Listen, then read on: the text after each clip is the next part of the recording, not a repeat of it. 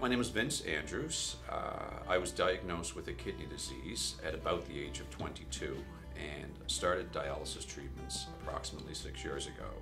Dialysis has had a huge impact on my life. Uh, as I said, I started treatments six years ago, and I've essentially been doing uh, treatments every second day for that entire six year period for about four hours at a time.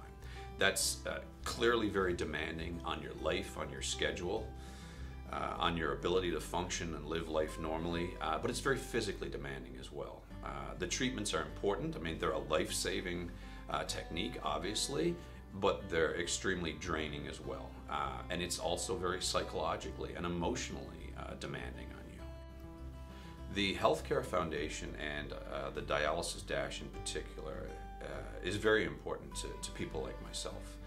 When I was first diagnosed uh, with kidney disease, and especially when I first became a dialysis patient, I, I, wasn't sure that we had a prominent voice in the healthcare community. And now, with events like the DASH and with groups like the Healthcare Foundation, I feel like, as well as raising the much needed money uh, for uh, adult healthcare around the city of St. John's, uh, it's given us a voice and when you have a voice, you raise awareness. You, you get people talking about the issues around kidney health, kidney dialysis, organ transplantation. And when you have a voice and when people are talking about it, it gives you hope.